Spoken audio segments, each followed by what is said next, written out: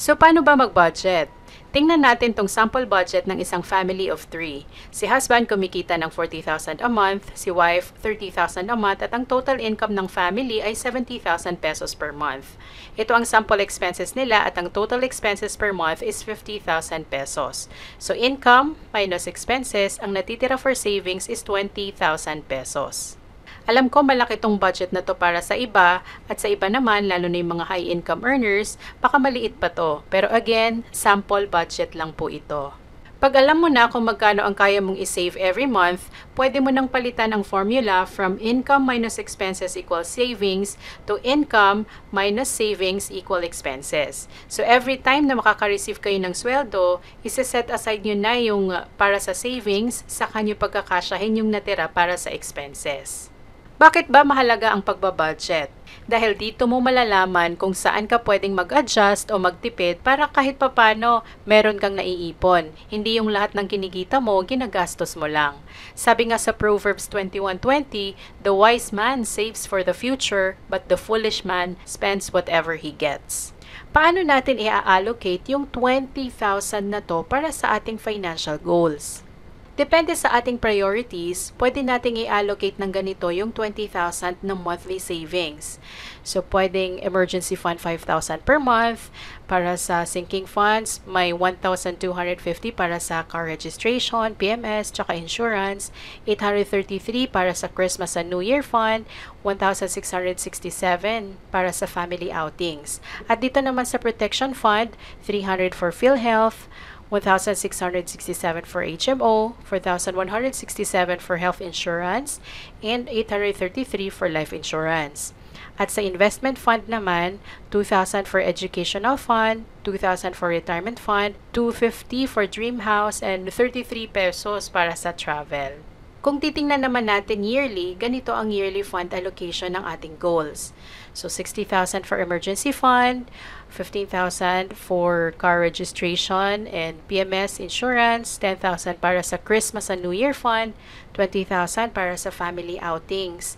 Sa protection fund, 3,600 para sa PhilHealth, 20,000 para sa HMO, Health insurance, 50,000 for one year. Life insurance naman, 10,000 pesos. Para sa educational fund, 24,000 ang masisave for the whole year. 24,000 din for retirement fund, 3,000 for dream house, and travel fund 400 lang kasi limited na yung budget natin.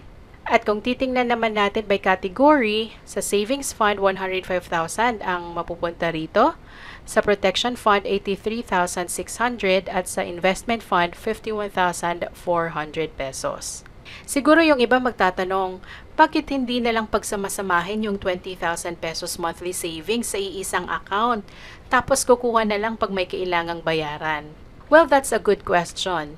Actually, pwede naman. Kaya lang, it takes more discipline to do this. Kasi paano pag may nakita kang bagong gadget worth 50,000? Sumilip ka sa bank account mo, may 240,000 ka naman. So baka ang mangyari, kumuha ka na muna dito. O kaya naman, may nagkasakit sa family, walang health insurance, inabot ng 10 days sa hospital at ang hospital bill, 200,000. Well, siguro okay lang kasi may 240,000 ka naman dito. Pero paano yung mga goals mo? Yung educational fund and retirement fund, back to zero ka na naman. At paano naman kung nagkaroon ng critical illness si breadwinner? Kasya ba ang 240,000 pampagamot? Magkano magpagamot ng stroke, ng cancer, ng diabetes sa ngayon? E paano kung tuluyan nang mawala si breadwinner? Paano yung pamilya niya? Paano yung mga pangarap nila? Di ba ang hirap? Hindi kasya ang 240,000 sa iisang account, sa iisang basket lang. Kaya napaka-importante ng pagkakaroon ng protection fund dahil ito ang magiging safety net natin in case of uncertainties like disability, critical illness, or untimely death. And it boils down to this, budget wisely and allocate your savings properly. Huwag ilagay sa isang basket lang. Sabi nga nila, don't put all your eggs in one basket. Diversify. Yung iba, pag may extra money, gusto nila i-invest kagad. Saan ba ako pwedeng mag-invest? Meron akong 20,000 dito na nasa bangko, hindi kumikita. Saan ko ba pwede itong i-invest? Tapos, pag may emergency or may na-ospital, kukunin din kahit lugi. Dito sa ating sample budget, 51,400 lang yung napunta sa investment. Mas malaki pa ang napunta sa protection fund kasi 83,600. Pero let's think of it this way. Pag na-diagnose ng critical illness si husband o si wife at covered ng health insurance, pwede siyang makatanggap ng lump sum amount na 1 million pesos o depende sa kinuha mong coverage. Magkano ba ang 50,000 per year? Kung panatag naman ang loob mo na pag may nagkasakit, nandyan ang insurance na sasalo sa'yo. Saan ba natin dapat ilagay ang savings natin? For your savings fund, pwede mong ilagay sa isang regular savings account na mababa lang ang interest per annum pero pwede na, easily accessible. Pwede rin sa digital banks na 2 to 4% interest per annum. Pwede rin sa co-op na 1 to 2% interest per annum. Pwede rin sa savings account with insurance like BPI SaveUp na pwede kang magkaroon ng times 3 or times 5 na coverage based don sa ADB mo or average daily balance.